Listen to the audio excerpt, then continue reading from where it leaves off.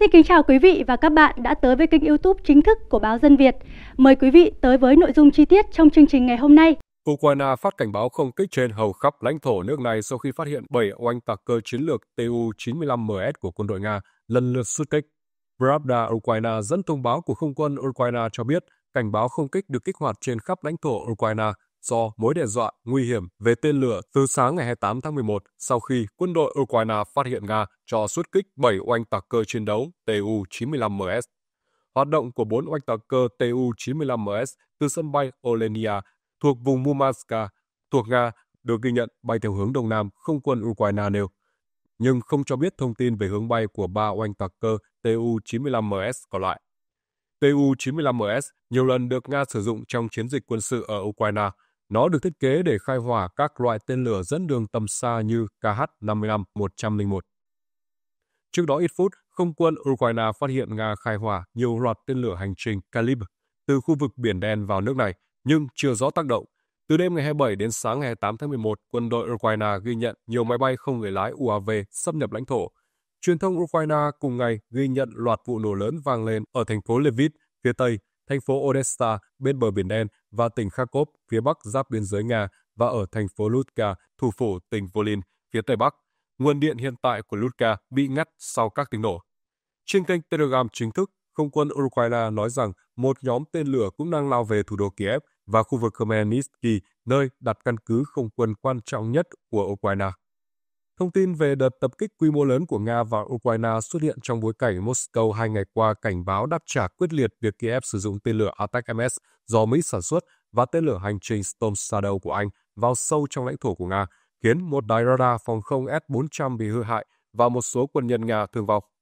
Ngoại trưởng Nga Sergei Lavrov ngày 27 tháng 11 cảnh báo sự kiên nhẫn của Moscow với việc Ukraine sử dụng vũ khí phương Tây có thể sắp cạn kiệt.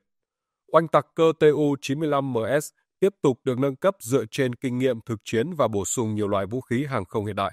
Tập đoàn Công nghệ Nhà nước Rostec cho biết việc hiện đại hóa oanh tạc cơ Tu-95MS sẽ làm tăng hiệu quả chiến đấu của phương tiện chiến lược này thêm nhiều lần. Những kinh nghiệm thu được trong quá trình thực chiến đóng vai trò quan trọng. Theo Tổng Giám đốc Rostec, ông Sergei Chemirov, Tu-95 là một trong những dòng máy bay quân sự dễ nhận biết và được kính trọng nhất trên thế giới khi sở hữu tốc độ phạm vi hoạt động đáng kể. Phiên bản nâng cấp mới của Tu-95MS còn có khả năng mang tên lửa hành trình tầm cực xa. Bên cạnh đó, máy bay còn được trang bị hệ thống dẫn đường và liên lạc hiện đại nhất. Chiếc phi cơ được phương Tây đặt biệt danh là Bear, tức gấu này, là một xương sống của lực lượng hàng không chiến lược Nga. Nó sở hữu một số át chủ bài khiến vai trò vẫn là không thể thiếu trong các hoạt động tác chiến tầm xa. Chiếc oanh tạc cơ này được trang bị hai khẩu pháo GSH-23, nòng lôi và tên lửa KH-15 có tầm bắn 2.500 km, được sử dụng trong vai trò vũ khí tấn công chủ lực dưới thời Liên Xô.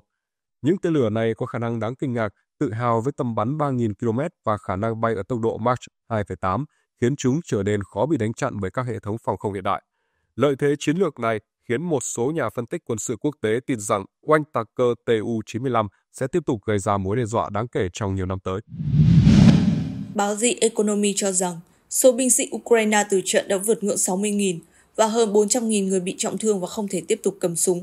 Những số liệu về Ukraine rất khó để xác nhận một cách độc lập. Tờ The Economic tính toán được dựa trên dữ liệu từ các báo cáo của những cơ quan tình báo, giới chức quốc phòng, các nhà nghiên cứu và tình báo nguồn mở được công bố hoặc rõ dị. Con số thương vong trên có lẽ chưa bao gồm các binh sĩ mất tích trong lúc chiến đấu. Tờ tạp chí Mỹ bổ sung, các nhà phân tích cũng dẫn dữ liệu từ website UA Logis, phỏng đoán ít nhất 60.435 binh sĩ Ukraine tử trận từ ngày 24 tháng 2 năm 2022. Theo đó, chiến sự đã cướp đoạt mạng sống của hơn 0,5% dân số đàn ông ở độ tuổi tòng quân, từ 18 đến 49 tuổi ở Ukraine. Tuy nhiên, The Economic không cho rằng dữ liệu trên là quá mức, mà thậm chí ước tính con số trên thực tế phải cao hơn nhiều. Theo hãng tin AP, chính quyền Tổng thống Joe Biden đang thúc giục Ukraine hạ độ tuổi nhập ngũ xuống 18 tuổi trong một nỗ lực nhằm tăng cường lực lượng chiến đấu. Một quan chức cấp cao của Mỹ nói với hãng tin AP rằng Nhà Trắng tin rằng động thái này là cần thiết để tăng cường khả năng chiến đấu của Kiev. Bài toán đặt ra là Ukraine cần thêm binh sĩ. Chúng tôi đang nói về việc tăng phạm vi độ tuổi nhập ngũ để duy trì đủ binh sĩ cho cuộc chiến. Vị quan chức này cho biết, độ tuổi nhập ngũ thấp nhất của Ukraine hiện là 25. Song chính quyền Tổng thống Joe Biden tin rằng việc hạ độ tuổi xuống 18 sẽ giúp nước này đáp ứng nhu cầu cần thiết với binh lính. Theo nguồn tin, Ukraine cho biết rằng họ cần thêm ít nhất 160.000 tân binh. Phía Mỹ ước tính rằng con số trên có thể là không đủ. Hơn một triệu người Ukraine đã nhập ngũ trong cuộc xung đột với Nga, bao gồm cả vệ binh quốc gia và các đơn vị khác. Tuy nhiên, các quan chức trong chính quyền Tổng thống Biden đã cảnh báo rằng nhân lực hiện tại là không đủ để chống đỡ áp lực quân sự ngày càng lớn của Nga, đặc biệt là ở các khu vực như vùng Kursk, nơi Ukraine kiểm soát một phần lãnh thổ hồi tháng 8 vừa qua. Chính quyền ông Biden đã cam kết viện trợ hơn 56 tỷ USD cho Ukraine kể từ khi Nga phát động chiến dịch quân sự đặc biệt hồi tháng 2 năm 2022. Tuy nhiên, vị quan chức cấp cao này cho rằng Ukraine đã có đủ vũ khí cần thiết và bây giờ cần ưu tiên tăng số lượng binh sĩ. Việc thúc giục tuyển thêm binh sĩ diễn ra trong bối cảnh Kiev đang đối mặt với sự chia rẽ ngày càng lớn giữa các đồng minh, khi Đức, Pháp và Anh mâu thuẫn về các cuộc tấn công tầm xa của Nga, còn các quốc gia như Slovakia và Hungary kêu gọi đàm phán hòa bình. Nhà Trắng được cho là đang rất lo ngại về những sức ép quân đội Ukraine đang phải đối mặt, khi vừa phải duy trì kiểm soát lãnh thổ giành được từ Nga, vừa cố gắng chống trả những đợt tiến công của Moscow ở phía đông. Mặc dù việc hạ tuổi nhập ngũ là một chủ đề nhạy cảm, nhưng điều này là cần thiết để đảm bảo rằng Ukraine vẫn có thể chiến đấu trước nước Nga có tiềm lực lớn hơn rất nhiều. Quan chức này cho biết. Một nhóm lính Ukraine đến từ làng Krubuke của Ukraine đến biên giới Nga và lên kế hoạch chiếm vùng ngoại ô của làng Yuzhalivka của vùng Benvorov. Một máy bay không người lái FPV của Nga đã tấn công nhóm quân này ở biên giới buộc những kẻ phá hoại phải rút lui. Một trong những người lính Ukraine đã bị thương. Video máy bay không người lái được thực hiện trong cuộc tấn công cho thấy một trong những binh sĩ Ukraine rơi khỏi xe bọc thép chở quân trong nỗ lực thoát khỏi máy bay không người lái của Nga. Những kẻ phá hoại đã lái xe đi và bỏ lại đồng đội của mình chết trong bụi. Ngày 27 tháng 11, Bộ Quốc phòng Nga cho biết các đơn vị quân đội Nga ở khu vực biên giới Kursk đã tiêu diệt hơn 250 binh sĩ Ukraine, hai xe tăng, một xe chiến đấu bộ binh, một xe bọc thép chở quân và hai xe chiến đấu bọc thép trong một ngày.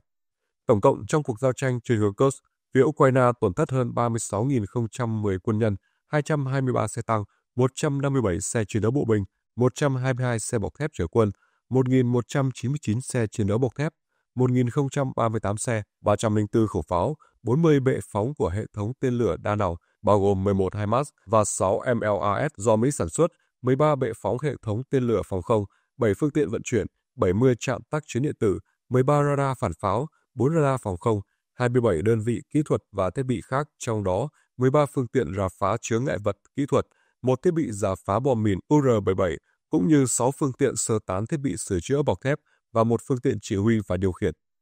Trong vài ngày qua, lực lượng vũ trang Ukraine đã sử dụng vũ khí tầm xa hai lần để tấn công khu vực Kursk của Nga.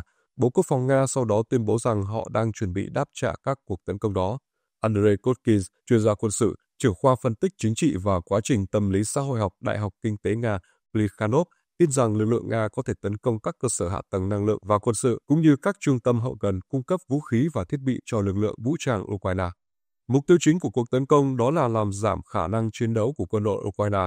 Hotkin nói với Info 24, tôi không loại trừ khả năng trong quá trình thực hiện các hành động trả đũa, quân đội Nga có thể sử dụng lại tên lửa Orenix, một phiên bản thông thường của tên lửa này, ông Koskin nói.